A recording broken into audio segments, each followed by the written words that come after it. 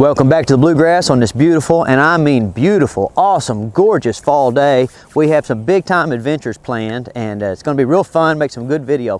First, uh, my buddy Woodstock Mike is coming up from Nancy and he's bringing his uh, side-by-side -side, and so we're gonna load up and go down to Hollerwood ATV Park and take Tommy, the German Shorthair Pointer, and Lucy uh, on a nice little adventure, go to our favorite caveman spot.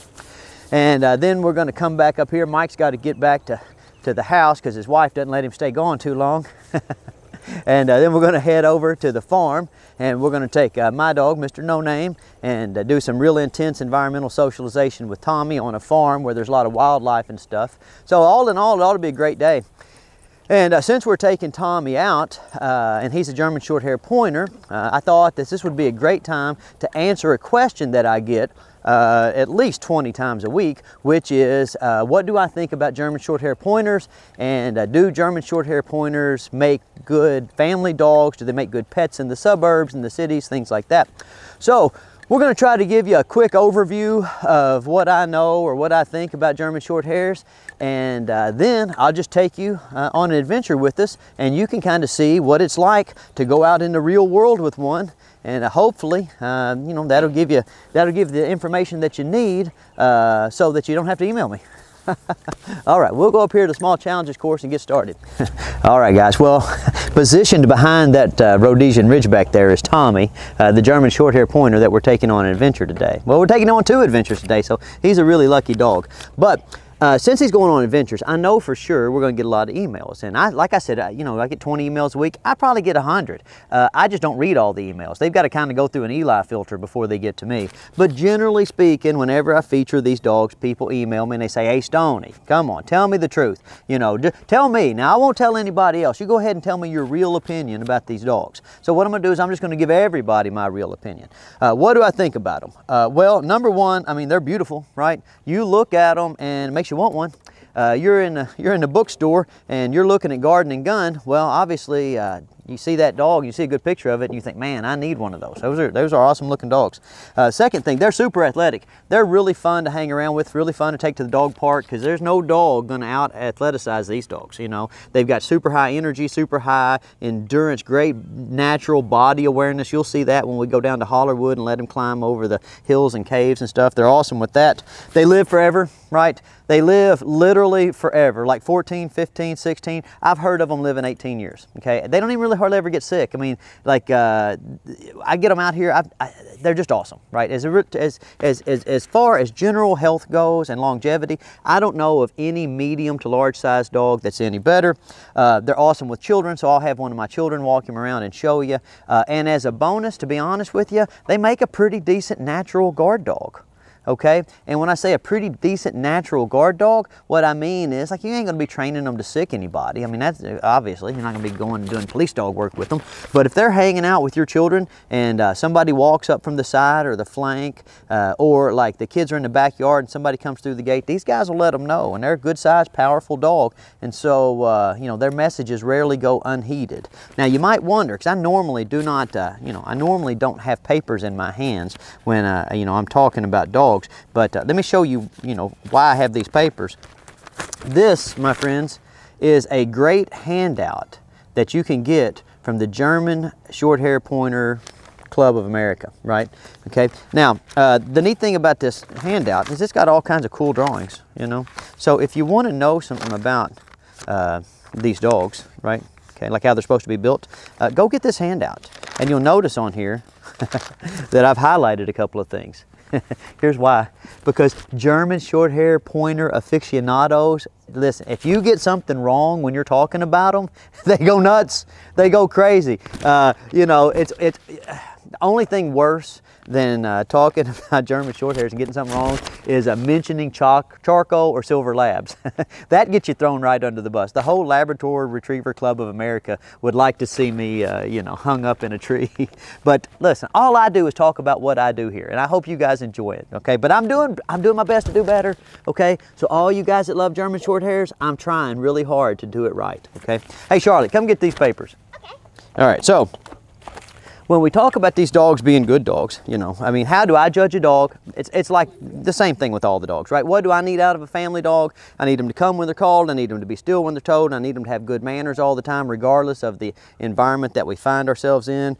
Uh, to be able to take them into, you know, different environments, I need to trust that the dogs oh, have a, you know, kind of mastered a good basic vocabulary. What vocabulary do I use? Uh, come, like come to me. Let's go, like let's go for a walk and don't pull on the leash. Hup is a catch-all term we use for negotiating obstacles. Easy, hey, you know, don't knock into stuff. Wait, temporary pause, stay, stay there for a long time.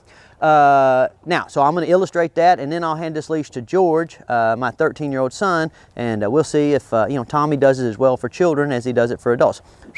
Come on, Tommy. All right, so let's start off. I'll say let's go, and then hup. Oh, uh, listen, guys, that is a hazard.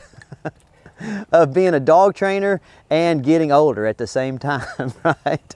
I have walked this course. There's 300 videos on my channel and you've never seen me fall down like that, okay? So uh, I'm gonna leave that in here. I'm slightly embarrassed, but you know, for all you other old fellas out there trying to train your dogs, just accept it. You know, you're gonna fall down every once in a while. Let's go. Up. This is a little balance drill that you guys seen me do a million times. Proprioception drill. Uh, he's doing this perfectly, even with these other dogs uh, roaming around. This is kind of a trust thing, little balance point drill. Pretty nice. Now, if you'll wonder why some of these other dogs are so aggravating, at my kennel, we kind of operate on a cycle. We get new dogs in that don't know much, uh, and they're wild and crazy, and the job's really hard.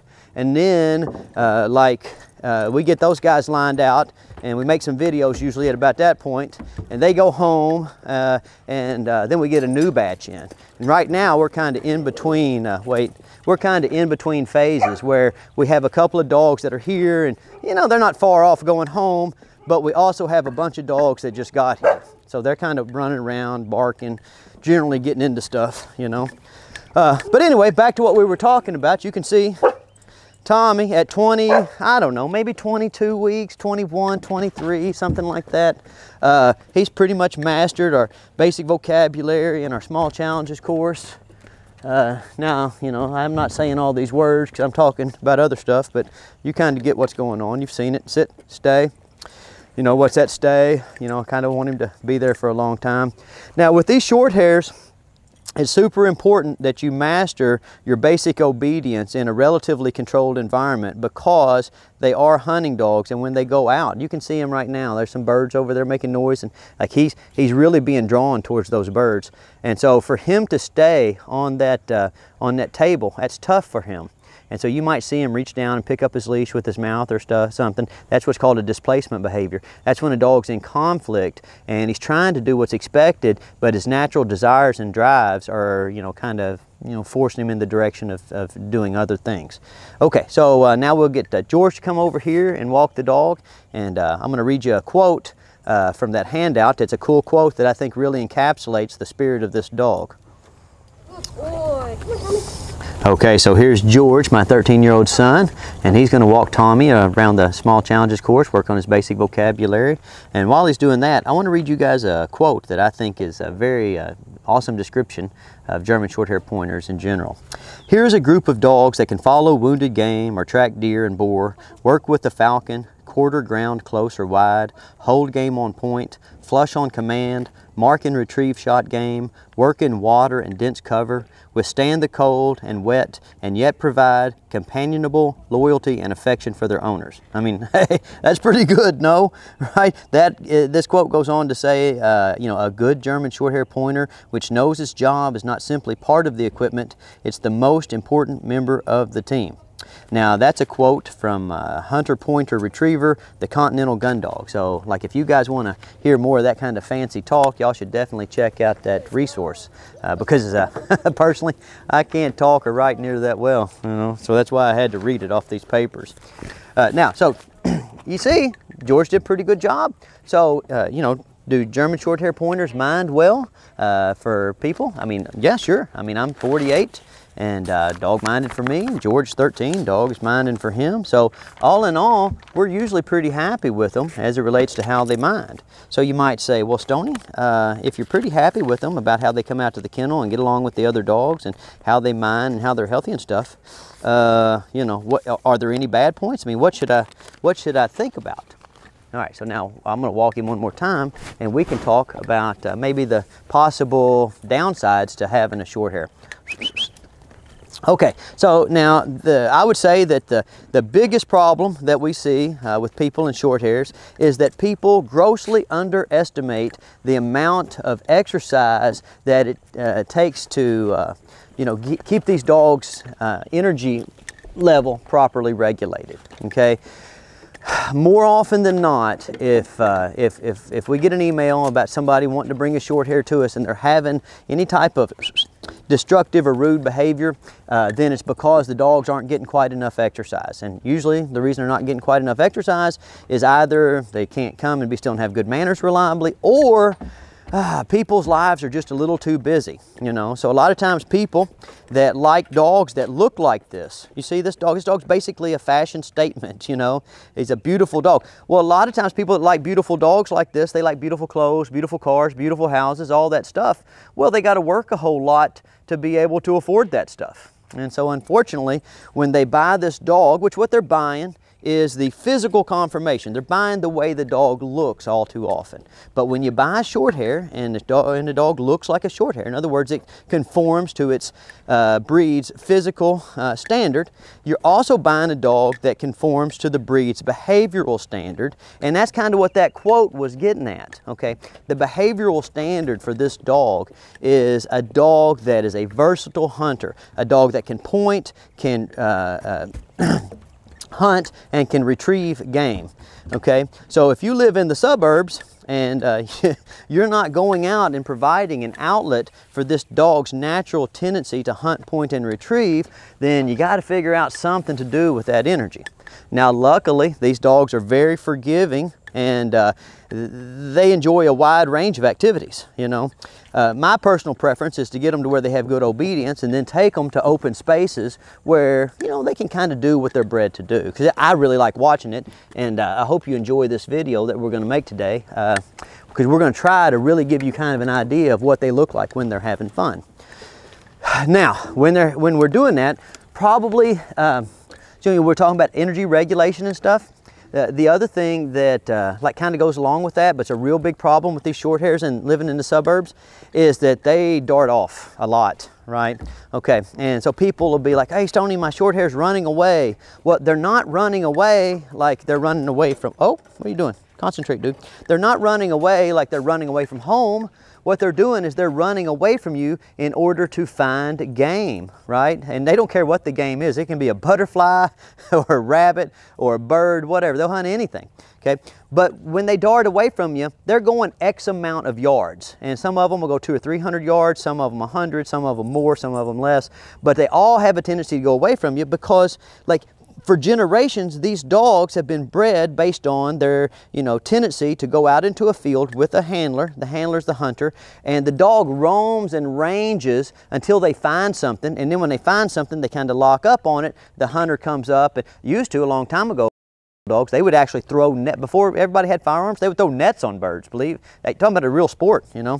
Uh, but now everybody hunts with guns, and so the guy comes up and he kicks up the bird, the bird gets up and shoots it, and the dog goes and gets it, right? So all of these dogs, for lots of generations, that's what they were bred to do. And just because you bought it and you live, you know, in a big house on a small lot, like that doesn't change the basic genetic character of uh, the dog. It's still a versatile hunting dog with a high energy level, high endurance level, and a quick recharge rate, okay? So that leads to going out and having dogs that are really hyped up and charged up. Whoa, wait a minute, dude, sit. Uh, now, see, my dog has got up here, and my dog is kind of Tommy's hero. Uh, so Tommy's going to have a little bit of a hard time sitting and paying attention. Get, get back, jealous. Uh, and this is what happens. Look, guys, even when you're training a dog and you've been, you know, y'all have watched me train this dog for a lot of months. Like, oh, when they hit puberty, get they get jealous. They're crazy. They're just like kids. Oh, go on, dog. Don't need so much attention. All right. So we bring Tommy back over here. Sit. There, stay. Now, like see right there where I just ended up having to make Tommy kind of sit there and be still? Uh, well, he's kind of getting bored with his activity. And you see him starting to look around, the birds catching his attention. That's what people run into. And that's why these dogs like seem to be hard-headed. He's not trying to be hard-headed right now. He's just interested in the stuff that the other dogs are doing. He pals around with Mr. No Name all the time and we let him chase birds all the time. And so he's kind of like, hey, listen, Stonnie, I'm having a hard time staying in this chair. Can't we wrap this up? So you have to understand that. You have to understand when you're in the suburbs, these dogs need their energy put into proper places and they're still going to have a tendency to get distracted easily and to dart off. Now, why that's a big danger in the suburbs is because, like when we go out later, you're going to see this dog ranging maybe 100 yards. We try to keep him in 60, really, but he's going to be ranging 60, 100, 200 yards in the suburbs. How many streets is that? How many soccer moms yelling at their kids in the back uh, is that, you know, going down the street? So, you know, what can they do? They can get run over, they can cause a wreck. I mean, there's lots of trouble. But just right here, you saw Tommy do great for quite a bit of time. Then no name gets in the pool and these dogs are playing, these birds, and this is what you get out of short hairs. A lot of times, this is how they get a reputation for being hard-headed and Tommy's not being hard-headed right now. He's not being obstinate right now. He is doing his level best to stay there when he is bored completely out of his head. and uh, that's just the way they are, okay? So th that's one of the things that we worry about. Now, the, uh, really the only other things, uh, guys, is these dogs, they can be a little needy, you know, so you get them, and it's all these continental dogs. The, the, the short hairs, the wire hairs, the Vizslas, uh, the Weimaraners, they're all kind of needy. I mean, you can't even go to the potty without them going with you. Uh, and so that neediness turns into anxiety. So you can get a little separation anxiety. They can be anxious with the vet, getting their nails done, things like that. Uh, and then the last thing, they're big jumpers. They love attention so much uh, and they have uh, so much athleticism and uh, range of motion in their joints naturally that uh, they, they, just it, it, just comes real natural to them to jump up on you okay? But that's about it really okay? So that's about how Tommy minds at uh, however old he is 21 22 23 weeks. Um, and uh, you see now he's happy. He's going over there. Show what he's doing. See, No Name was it, like got in the pool for a second, so Tommy has went over there to see what No Name was after. and this is how this works here, guys. you see them lab puppies? See, we, we, we use our mentor dogs uh, to encourage the, dog, the other puppies to follow along and do the kind of same activities. Now, what we're going to be looking at, uh, uh, which, which will be interesting for this video, is when we go down to Hollerwood, we're taking two puppies, okay? Lucy, who you're familiar with, and Tommy. And uh, we have to see how that plays out. What I normally like to do is I like to take one mentor dog and one young dog. So one dog that stays close and will come back as soon as you call it, and one dog that's just learning that. Sometimes if you have two that are just learning that at the same time, well, all bets are off. So hopefully we'll be able to go down there and it won't be too crowded. We can let the dogs out to play and uh, not have to put their long lines on them. But with this kind of dog, anytime you go out into a crowded environment uh, and you're not for sure, you know, able to get them back at the drop of a hat, you better put a long line on them because they can get out in the road super quick. All right, uh, that's all I got to say about short hairs in the short in, in, in this segment. Uh, now we'll just do some adventuring and you can make up your own mind as to whether you want to further investigate getting one for your house.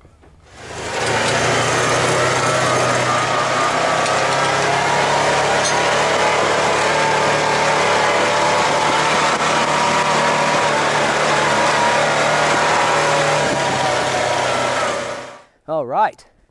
Well, now we are back at one of our favorite spots and uh, we're gonna go do some caveman style exploration. And last time that uh, had you guys here, um, this was kind of more grown up.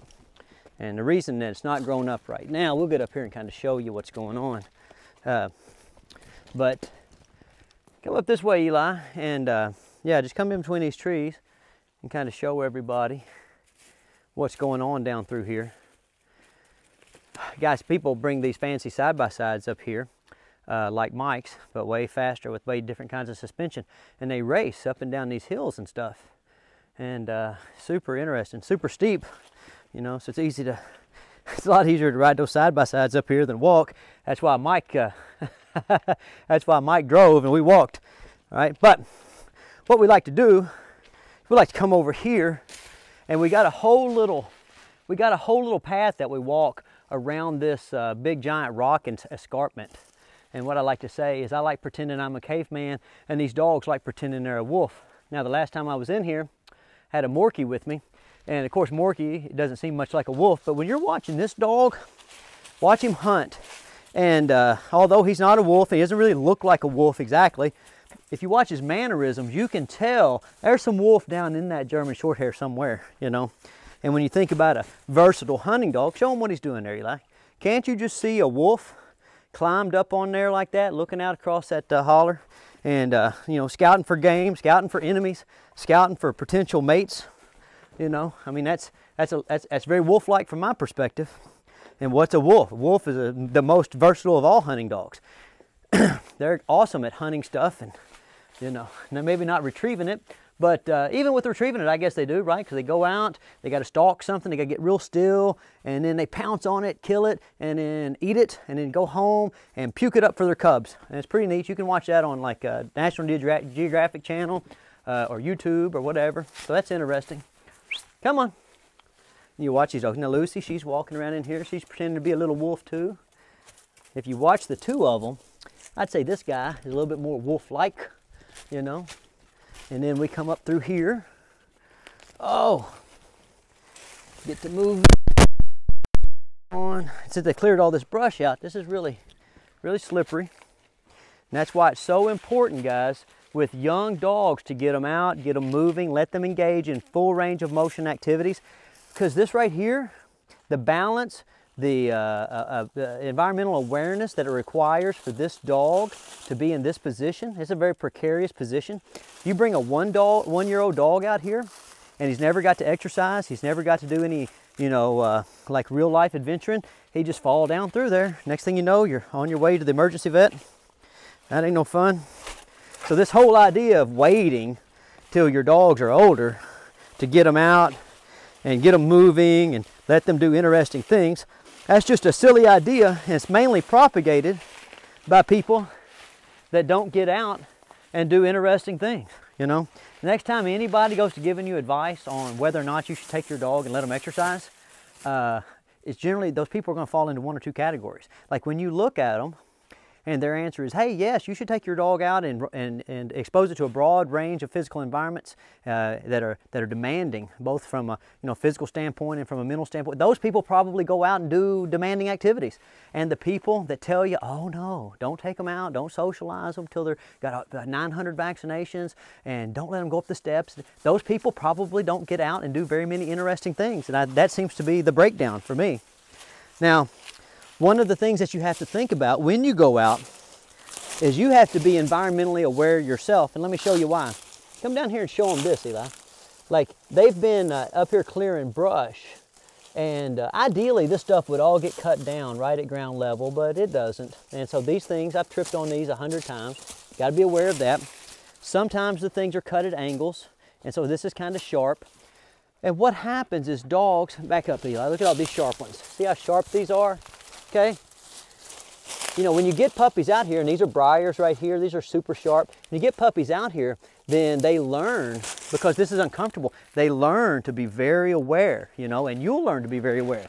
The problem is if you're watching my videos and you're an adult, dang, that window is almost closed on your ability to improve your own proprioception and environmental awareness. So you have to be extra super duper careful. Uh, my own opinion is uh, you should not do this activity. You just watch me and Eli do it. That's a safe way to engage in these uh, types of things.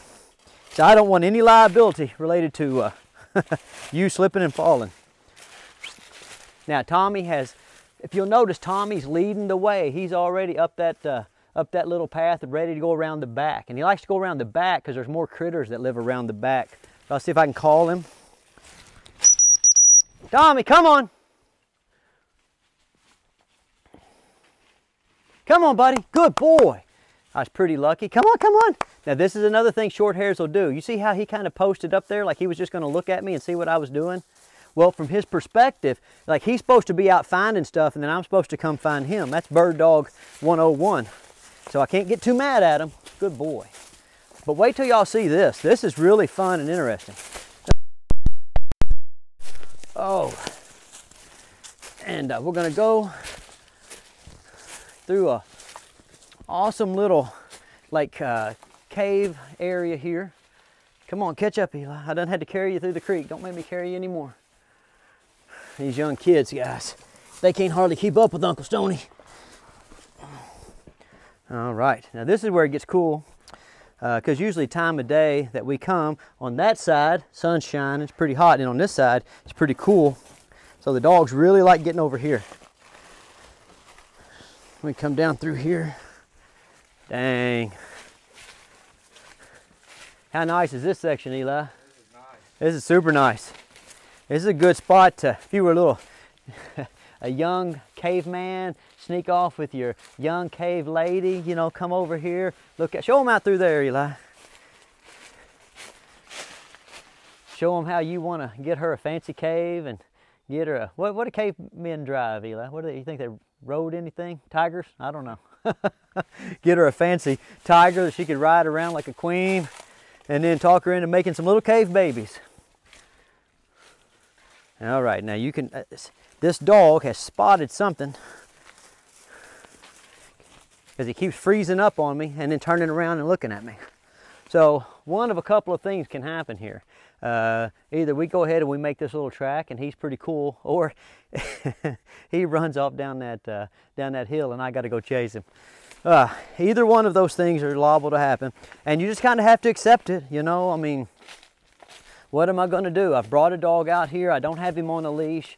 And so all we can focus on is kind of uh, getting a little better each time. And that means the incidence rate of failure will get less over the course of a certain amount of weeks. In other words, like I might have to go down there and get him three or four times today over the course of the day.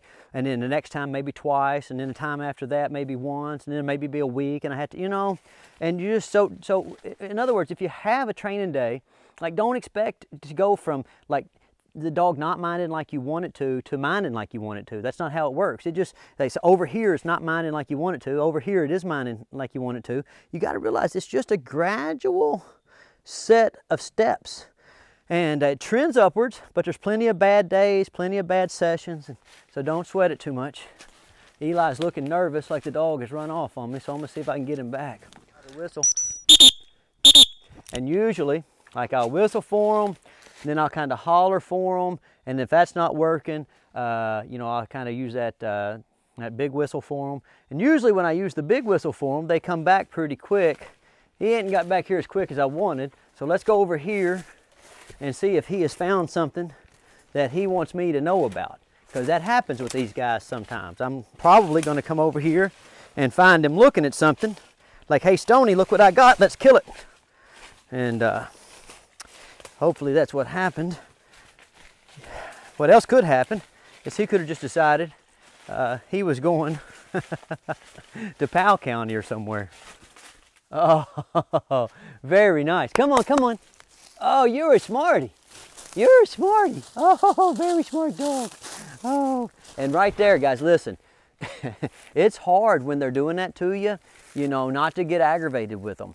But I'm out here in a, in a, you know, on the side of a hill in the middle of a big, you know, uh, wilderness area. What am I going to do? You know, uh, if I get angry and I start calling him and I sound real mad, then he's really not going to come back to me, right? So uh, what I do is I just kind of, you know, I keep plugging away till I get him back. And then when I get him back, I love on him. And I tell him, you know, that's great. And we're going to take back off and we're going to go and we're going to go over to Sun Oil Lake and see what's going on over there. And then I just expect it to be a little better, you know, each time we come out. Uh, when I go home, you know, how I address it is I just go home and I go back to yard, my yard work. I work on my recalls. I work on my stop whistles and stuff. And, uh, you know, in between times, like we come out here and we judge our progress and then we go home and we work on what needs working on. And so with Tommy, you can see that uh, what needs working on is a little bit faster recall. but this is a super high distraction environment. Now, what would help me right now is if I had my dog with me, because if I had Mr. No Name with me, then like uh, he keeps these other dogs around a little bit better. Lu I, we've got Lucy with us right now, and uh, somehow or another we lost her. I think she went back there to hang out with Woodstock Mike. And so, like right when I call, you know, I don't have don't have as much influence over the dog. So on our way back to the farm, we will stop. What are you looking at with that camera, Eli? On our way, on our way back to the farm, we will stop and grab Mr. No Name, and uh, you watch that his this dog's recall will immediately uh, uh, get better, you know. All right, now we're coming out behind that rock escarpment. Oh, and uh, so Eli was asking me, he's like, hey, dude, you know, what do people normally do when they haven't had much experience like that? And I said, they panic. And uh, of course, so you're out in an area like this with your dog and he gets a little ways away from you and you panic, you start hollering at him, you start acting mean or you start acting scared. Well, all that does is makes it less likely that they're going to come back to you in a timely uh, manner, you know. Really what you have to do is you just have to stick to your guns, stay calm, be firm, fair, and consistent, you know, and move yourself into a position where you can influence them. That's why during the week, you're constantly doing your yard work. You're working on come and you're working on stop, you know, and you're working on the dog understanding the relationship between doing what they're told and getting access to what they want. And that's what's going on here. You know, like if I have if I have a moment with Tommy where he's not wanting to do something, that's because what he thinks is that doing something for me is going to get in the way of doing what he wants. And uh, it takes a while to build, to, to, to, you know, to build a, you know, to kind of build an understanding between you where the dog understands that the access to what they want comes all the way through you. I mean, he couldn't come down here by himself, you know? So I really want him to understand that, uh, hey, I'm not trying to give him a hard time. You know, I'm trying to make sure that he gets to go, whoa, more and more places. Tommy's owner is actually probably not going to be tromping around out in this kind of area, uh, but he is a pole vaulting coach. And he's got a big van and he carries pole vaulters around and goes to pole vaulting condition or competitions and stuff. And so we need to know that we can trust Tommy to be out. And uh, so this is one kind of environment that we put him in. Uh, Ray's going to be in a different kind of environment, but the you know the, the, the basic rules are going to be the same. You know, the, the dog needs to be able to stay focused and stay compliant regardless of the distraction level. You know, me and Eli just like uh, hanging out out here. Show him Eli, a little more than we like hanging out uh, at pole vaulting competitions. what about you, Woodstock Mike? You want to go to a pole vaulting competition? No. no. All right. Well, let's get in this Teryx and get back to traveling.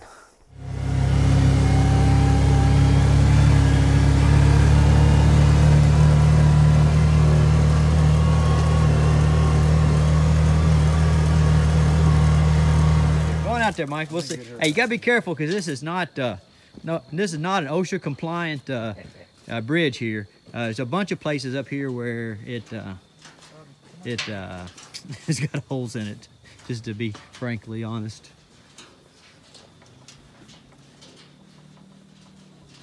Oh, here comes Lucy. And there goes Tommy. Dang, nice. Mike, you're a, like a Pied Piper of dogs. I thought dogs liked me. They follow you around better than me. I had that Morkie out here, and his little feet kept... kept falling in the hole. His feet kept falling through those holes. My wife was tripping out the whole time. Look how pretty this place is. Ain't this a good place to come adventuring? Oh, it is. It's super nice. Super nice. I bet there's a fish or two in there too. Uh, there are definitely some fish in there because uh, me and Eli was trying to spear them last time we were here. We did not have much in the way of success. You ever speared any fish, Mike? I've shot them with a bow. well, anybody can shoot a fish with a bow. Yeah. You got to spear them. Look at that mountain. Dang, what a beautiful mountain. All right, guys, close up my truck, get my last drink of coffee, and we will be on our way. So, we have my dog, Mr. No Name, and uh, Tommy, the German short hair pointer. We're just gonna take a little walk, let them roam around and, uh, you know, do cool stuff. This is just kind of a, one of our normal little puppy-sized adventures. Probably at some point, uh, we'll come back over here by the pond, throw the dummy off in the pond a little bit. It's a little bit chilly today. It was down to about 37 last night. I think it's up to 50 something right now. Uh, so Tommy might or might not want to get in the water. Now, of course, you know, my dog, uh, there won't be any keeping him out of the water. But we're just gonna walk around, let these dogs explore a little bit. Now, as I'm walking around, uh, what I need to try to establish with Tommy so he doesn't get too far away is I need to work on calling him back every so often, you know. Good boy, Tommy. Very nice. Good. So I tell him I appreciate coming back and then I let him go do his own thing. And really the kind of point that I'm making to the dog is if they'll work with me, then I'll give them a lot of freedom. You know, I need for them to be reliable as it relates to coming back and being still when I tell them and having good manners. But uh, if they'll do that, I do my best to make sure that I pay them with a lot of freedom and uh, a lot of adventuring. So there they go, they take off, getting a little too far. So then I call them back. Come on, Tommy, good boy. Very nice. Now you'll notice this guy here, he always comes back pretty quick and I don't have to worry about him going too far. Tommy, he can be a little rangy. You know, sometimes he'll get out 100 yards, 150 yards, and, and where we are, uh, it's okay because I'm on a big farm, uh, but I got to be careful about that. So I'm trying to kind of range him back in a little bit so that maybe he only goes 40 or 50 yards. Tommy, come on.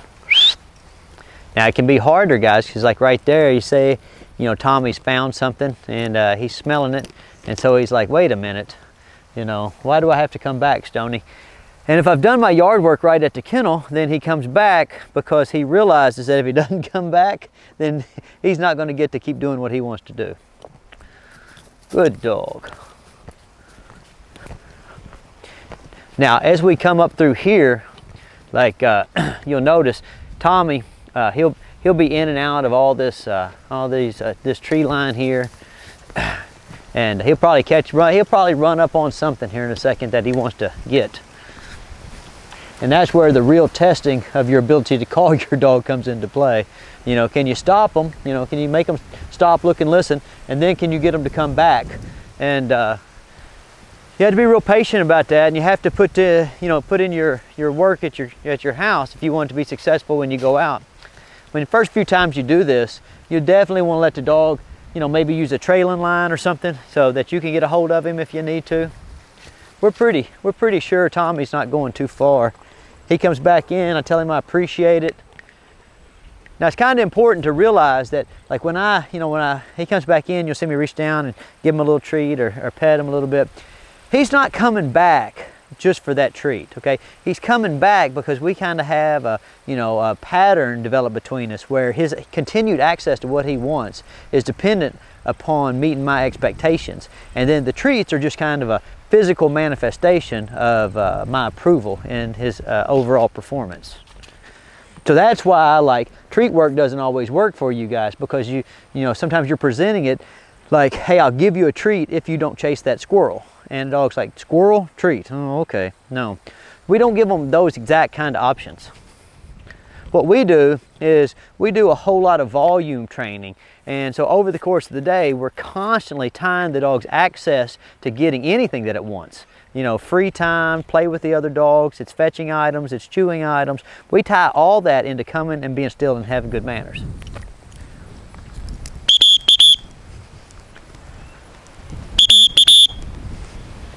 So you'll notice there, I changed whistles, right? I carry two whistles. One of them is for when I'm just talking and one of them is for when I need to raise my voice. It got a little bit windy and these dogs got a little bit far away from me. So I had to bring the second whistle into play. It's a little, it's a little bit louder, it's a little bit more forceful, you know?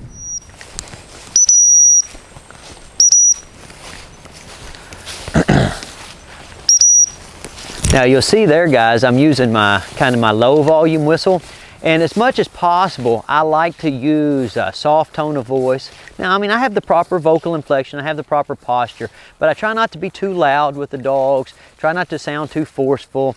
And uh, kind of my thinking is this, right?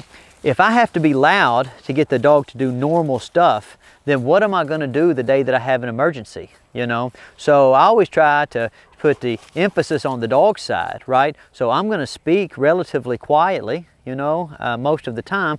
And if the dog wants to hear me, he's going to have to try to listen better. And then when the dog gets used to listening, when I'm speaking softly, if I do have to raise my voice or be a little bit more forceful, then it's a little bit shocking to the dog, and you know it makes a it makes a whole lot of uh, difference in terms of the impression that that vocal inflection makes. Now you'll remember not long ago we were over here in a soybean field, and this was all green you know and it might have been hard I, you know I tried to tell you about soybeans but it might have been hard for you to really understand just how many soybeans are on a plant but look at all these bean pods Guys, this is what, uh, you know, this is the, the, the pinnacle of thousands of years of selectively breeding plants uh, for agricultural production. You know, look at all those, look at that. Isn't that crazy? Look at all those seed pods. Dang, that's super nice.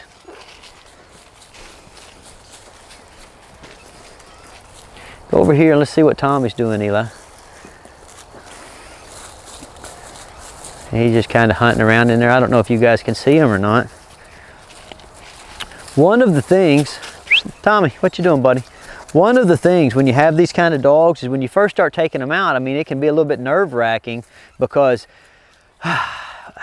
well, okay, it's not nerve-wracking to people that, that actually know about these dogs and have raised these dogs and hunt with them and stuff. But a lot of people that are getting these dogs now, they get them because they like their personality, uh, they like the way they look, of course, and these dogs are incredibly healthy. They live 15, 16 years old, and they generally don't have any, you know, big health issues, you know, knock on wood.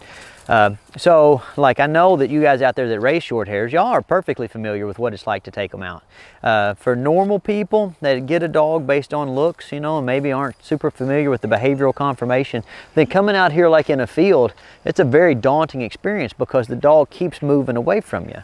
Okay, but just always remember that what you've bought is a bird dog. Like, and they don't breed bird dogs to go out into a field with you and stand there and look at you and go, hey, I wonder if there's any birds over there. No, the dog's whole point of existence is to run off finding birds. Back up there, Eli, maybe you'll be able to see what they're doing right now. But in this tree line here, there's a ton of birds. Okay, back up so you can see this tree line, Eli there's a ton of birds and that's why, that's why these knuckleheads keep running in and out of this tree line here.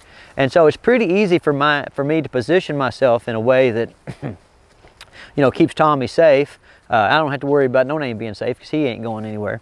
But with Tommy and these short hairs in general as long as you think you know about where you're taking them and you understand that they're liable to dart off and go a little ways you know then it's okay you know there's no reason to no reason to trip out Come on, Oaks. Just take the appropriate precautions. Either run them in a field big enough for you know them not to get lost, or you know uh, put them on a long line and keep them a little closer than what they would like to be. And that uh, they they don't love that. I'm not gonna lie, you know. Uh, but you can kind of gradually give them a little bit more freedom as you trust them more. Now watch, these dogs probably going to get uh, pretty excited as they get over here next to that pond because there's lots of stuff that lives over there next to that pond. And you see how that short hair is always on the hunt, you know, always looking to get something. Now in the summertime, whenever the dogs get close to that pond, uh, whenever the dogs get close to that pond, frogs go everywhere. I mean, there's thousands of frogs that live in this pond. and uh, uh, now it's pretty cold, so I guess the frogs have all holed up, you know. What happened right there was that uh, Tommy, he didn't realize that that green stuff just sat on top of the water. And so he went out there trying to jump on that. He, th he thought that maybe somebody had rolled out a nice carpet for him or something. And he jumped off in there and went straight into the mud. He was like, oh no, what's happening? Now, No Name's familiar with this pond, so he's out in there all the time. And yes, I realize there's some algae out there, but don't be, uh, don't be giving me a hard time about the blue-green algae killing my dogs. We hadn't lost one yet. Walk over here in this cornfield a little bit. Here, dogs! We can get them to come with us.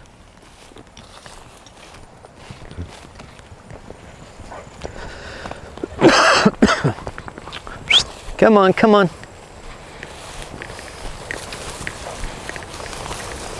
Now, one of the important parts about getting out into you know different environments uh, and, and make, making sure that you actually get out in the environment also is you want to understand the terrain yourself, you know, and you want your dog to understand different types of terrain. Like if we just practiced over there in the field or by the pond, the ground is uh, nice and level, you know. We come over here and there's a lot of undulations, there's a lot of holes, there's a lot, lot of rocks out here in this, uh, in this high grass and stuff. And so the dogs have to, you know, they have to get some experience, you know, learning how to read the terrain and learning how to take a safe route.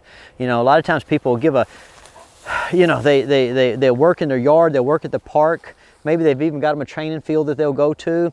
And then they get out in a, in a real life situation like this and uh, the environment is overwhelming for the pup. Or just to be honest with you, sometimes the environment's overwhelming for the owner. Ain't that right, Eli? Hey, we bring people over here all the time and we have to leave them up there on the road because as they come down through here, they're stipping and falling and carrying on. I'm afraid they're gonna sue me, you know? So we come, we come over here for the environmental socialization aspect and, uh, you know, not just that, but to build work ethic.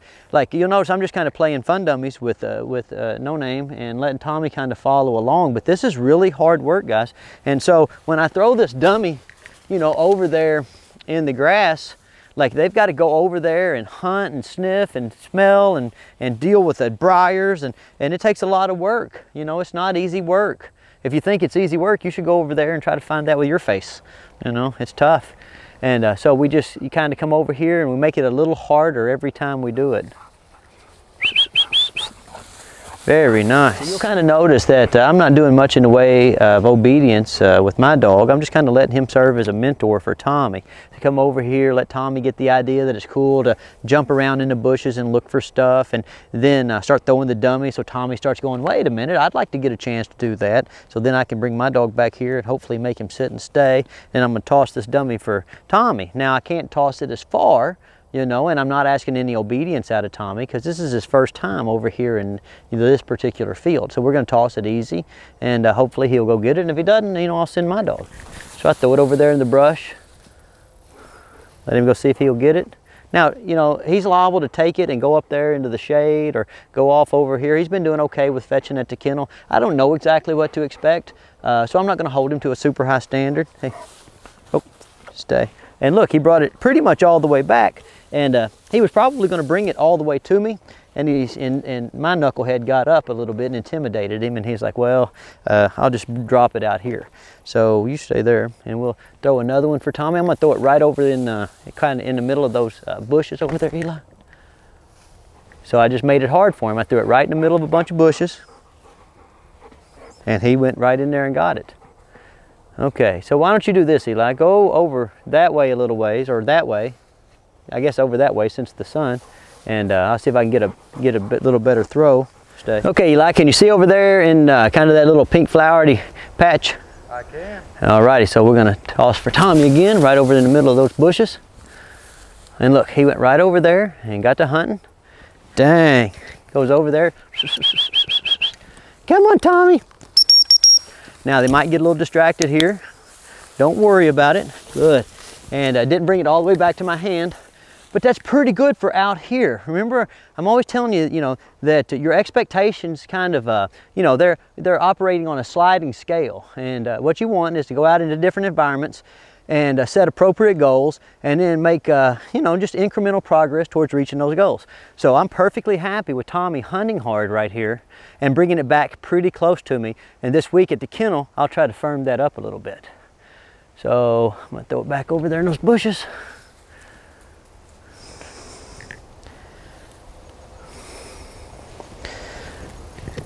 Give him a little bit of time to get it. Good boy, Tommy. Very nice. Very nice. Good. And he brought it close enough back to me so that I could pick it up just by bending over, which is not my favorite, but uh, you know, it's pretty good. I'll take that. One of the things, you know, I get a lot of emails about this, about, you know, important stuff as it relates to training ultimately, guys, you know, the important stuff is what's what I'm doing right now. It's just getting out here and, uh, you know, letting these guys live and learn. Uh, there's nothing like real life experience to teach a dog what they need to do. Now, do you need to cover some basics before you go out? Uh, sure. You know, you need to have a pretty good idea that dog's going to come when you call it. You need to have a pretty good idea that dog's going to stop when you tell it. And of course, if you're going to go out and be around other people or other people's property, then uh, you for sure, you know, have to have a dog that has good manners. Um, but we do pretty good at the kennel, you know, kind of getting that baseline established. And so it makes coming out here and going on these real life adventures uh, you know, pretty easy and pretty fun. And, uh, you know, I'd say that that's just coming out here and adventuring is, uh, that's a big part of our, you know, whole success, or, you know, our whole, uh, uh, uh, kind of our whole paradigm as it relates to, you know, encouraging dogs to be self-regulators we're really big on helping dogs learn to, you know, make good decisions on their own, just like children, you know, children, employees. I don't, you know, I don't get up in the morning, you know, and want to go boss people or dogs. You know, I want to help them make good decisions that work out well for themselves and me too, you know. Show them there, Eli. Put down in the comments below if you know what that is. Now we keep walking. Uh, now, you know, Tommy, you see, he kind of, he kind of, he kind of got his fill of running a little bit and smelling, and now I've been able to, to, to bring myself over here and get close to him and talk to him. Be like, hey, Tommy, what'd you find, buddy? You know, and he's like, follow me. I'll find some more of the same thing. We'll probably jump those deer up. I hope Eli can get that on the footage. I don't know if he'll be able to or not, but hopefully he will. You see these deer, because they don't go far. Most of the time, like if you jump them up, they kind of just go over here to their next uh, safe spot. They're used to people. There's a lot of people that come over here and work, you know. So they don't get too spooked. come on, come on. See if I can get him moving this direction. Maybe we can find those deer again. Good dogs. Ah.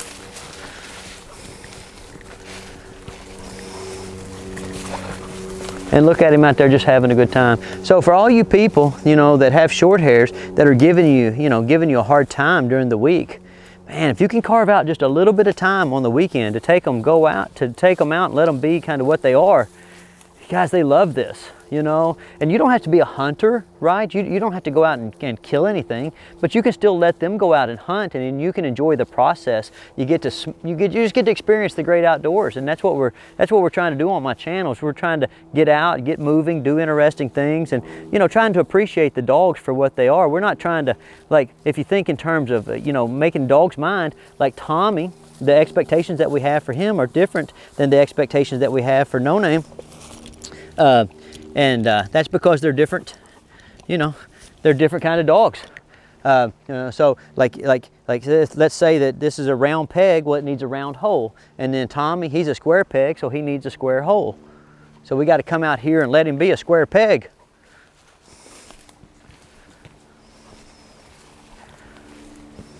And this is what they love to, they just love to do it. I you know I have a lot of these dogs on my channel and if, if you go back and you watch those videos, like this is all they do, isn't it, Eli? All day. I mean, listen, we just come over here and uh, they just hunt and hunt and hunt and hunt and hunt. And uh, then they get in the truck and they're calm and quiet for the whole rest of the day. Now, if we don't bring them over here, if we don't take them out back at my place, then they're into everything. They jump up a lot, they get on the counters, they do all that kind of stuff, you know, just because they got a lot of energy and they need a place to put it.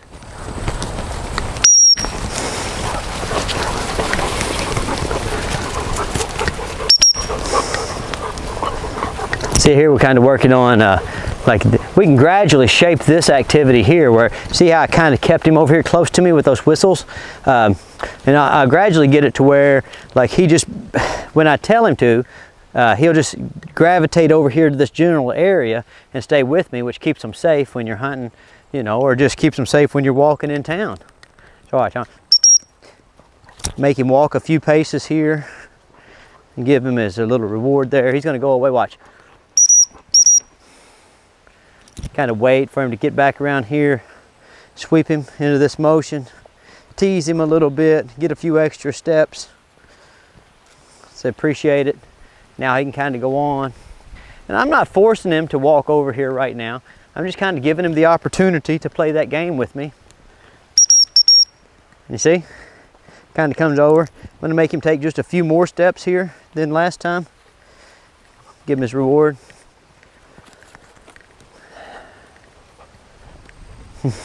my dog's like, hey, wait a minute, dude. I'm the one that usually gets to play this game. And here comes Tommy, past Eli. There we go. Make him walk just a few more steps. And this is just a fun game for them, guys.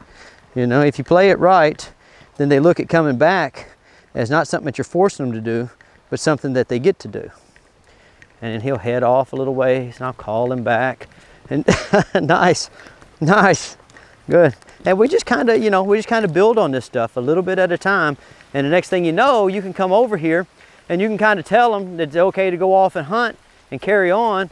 Uh, but then if like uh, people are coming by, there's you know tractors or whatever, combines, whatever, you can tell them to get back over here close to you, and they'll kind of get back over here, not in a real you know not in a real formal heel position, but just kind of over here in this area, and uh, that makes you not have to put them on the leash. You see how that's working? Very nice.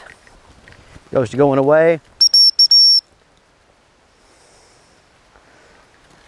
And see, I don't, you know, I, I don't just like uh, make it easy, you know, but I don't always make it super hard either.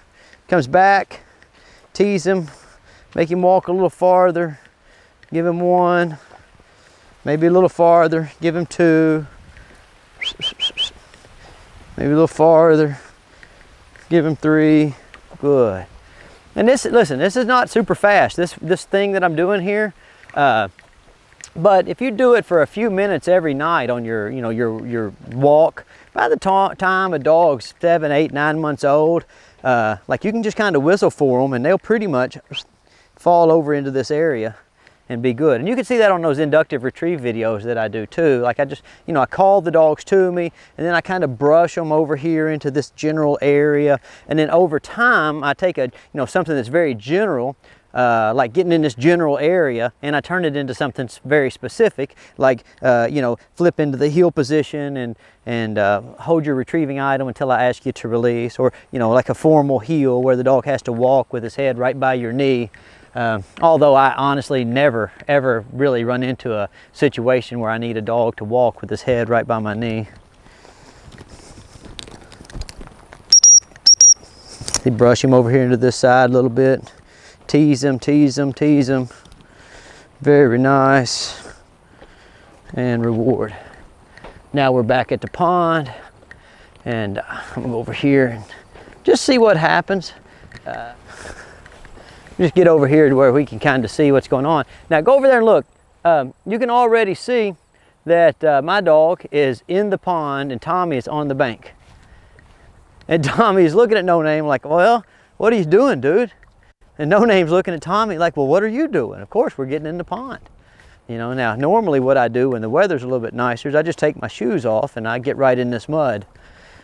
I'm not gonna do that today though because I'm wearing boots and uh, like when I'm wearing boots, I gotta unlace them, take off my socks, just a big mess.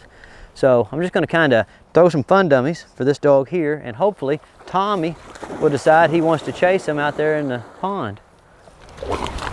Good. what do you think, dude? You're supposed to go out there. go on out there. Now, it, you, you, see Tommy is running into the same thing those other dogs run into when we bring him over to the pond. He comes over here and he's, he's thinking about this being ground. You know, it's been pretty dry this August. He, he doesn't really have much in the way of experience with mud. Even my creek where we take him exploring, it's pretty dry. And so like you watch him his feet, he's like, hey, I don't know what this is. And like earlier at the pond where he went out there and he jumped on that uh, he jumped on that uh, algae thinking that, that it was solid and he fell through. Go on, dude. You can do it. There he goes. Maybe.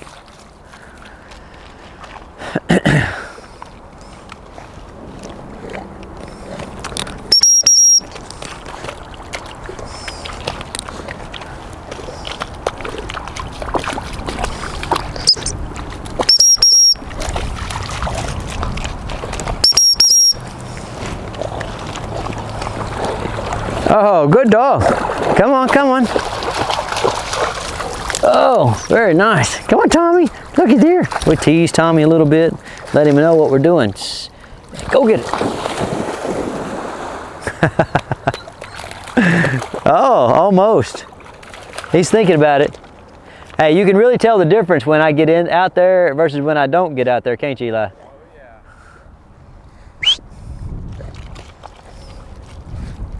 You gotta be a little bit more patient as the weather gets cold.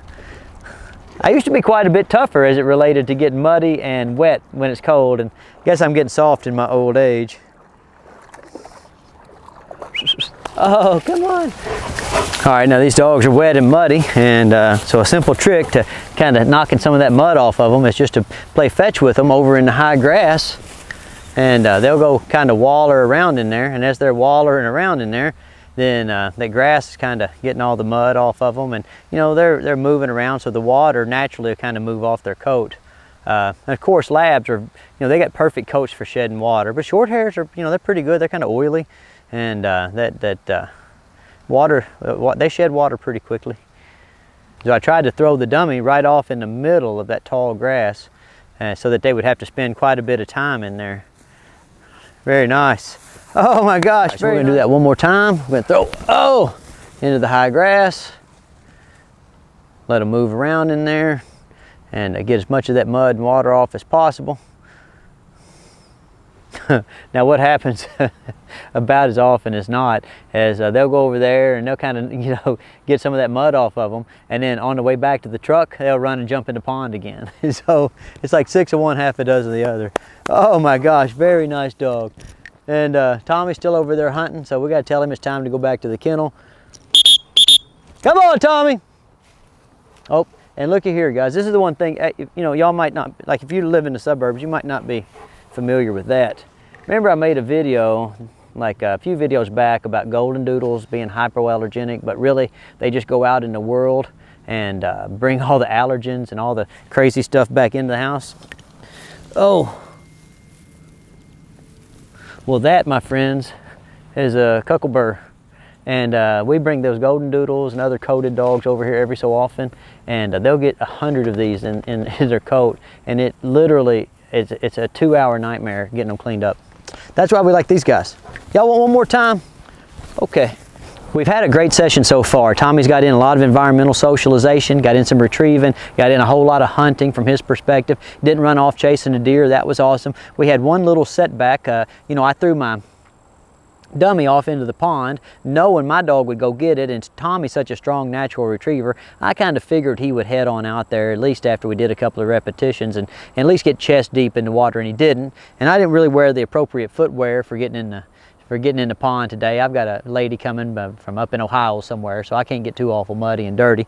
Uh, so I just figured we'd end this session. Uh, we'll do a little bit of acclimation work, get the get Tommy used to, he's over there with Eli, get him used to, you know, hearing gunfire, and uh, go ahead and work on my dog kind of being steady the fall. Now we're down a man. Normally, my son is the one with the dummy launcher, and he's positioned up there somewhere off at a little station, and uh, that way, uh, you know, when uh, he uses the dummy launcher, dog's looking out and up.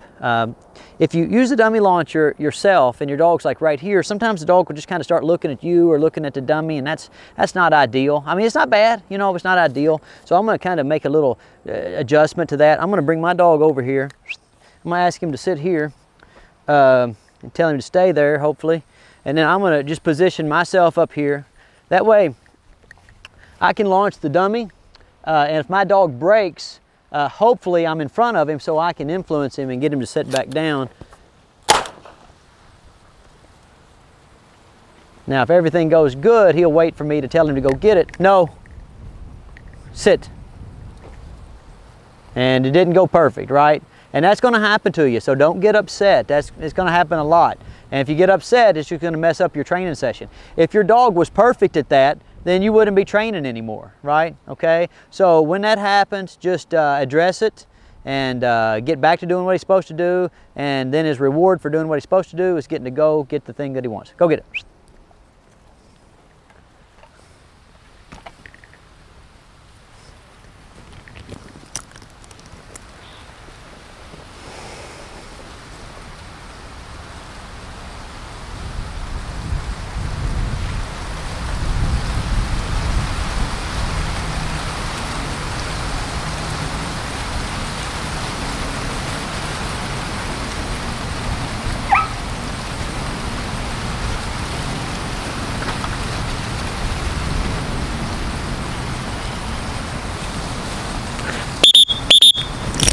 And it took him a little while, but uh, look, he came out with it, so that's okay.